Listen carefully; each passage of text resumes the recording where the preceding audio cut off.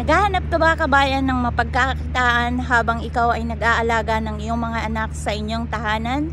Or ikaw ba ay isang ina na may pangarap na mag-travel sa buong mundo and at the same time kikita habang ikaw ay nagninegosyo, habang ikaw ay nag-aalaga ng mga anak? Pakinggan nyo lamang po ang sasabihin ko, maikli lamang po ito.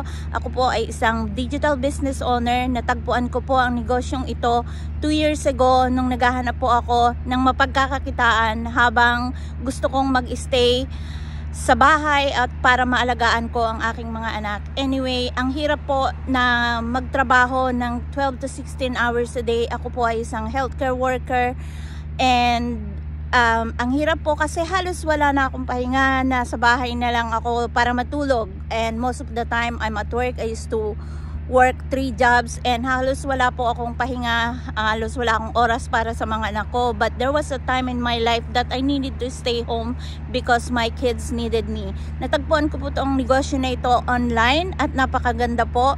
Ito po ay negosyo online na we are leveraging social media to earn revenue and um, it's automated system. We have tools training that you can use. It's basically done up everything is done up for you. You just need to plug in.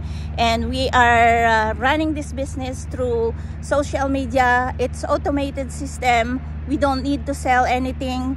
We don't need to bug any uh, anybody. And what we have is um, an automated system na siya pong magbabantay sa ating negosyo. Instead na tayo ang magbantay sa ating negosyo uh, it will run 24 hours without you physically monitoring it. It will run um, uh, continuously. And kung gusto nyo pong tingnan ang negosyong ito napakaganda. Libre po libre po ang manood. Uh, it's only 90 minutes webinar. Tingnan nyo kung itong business na ito ay magpipit para sa inyo. Ako po ay isang ina na naghahangad na magkaroon ng maayos na buhay para sa aking mga anak. Right now, we are traveling, me and my kids. We are in maritime. Basically, we are in Newfoundland. And sumunod po ako sa mga anak ko na 2 weeks lang nagbabakasyon. Halos ayaw na nila umuwi. So yesterday, I followed them and I want to show you guys how beautiful Newfoundland is. See that?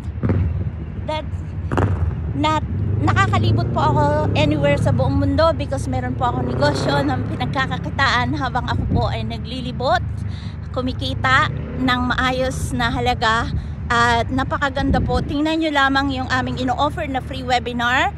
I have uh, the link na uh, pwede nyong tingnan. All you need to do is um, register with your name and valid email address. See if this business is for you. It's free to watch so it's very good. Um, register with your name and email address and I will send you the information that you need in able to start your own digital business. Ako po ang personal na magiging mentor nyo at tutulungan ko po kayong mag-put up ng negosyo nyo na you can run also while traveling the world like I'm doing I'm enjoying this view it's beautiful it's beautiful it's lovely so anyway thank you guys so much for watching and I hope that you will register and check this business. God bless everyone.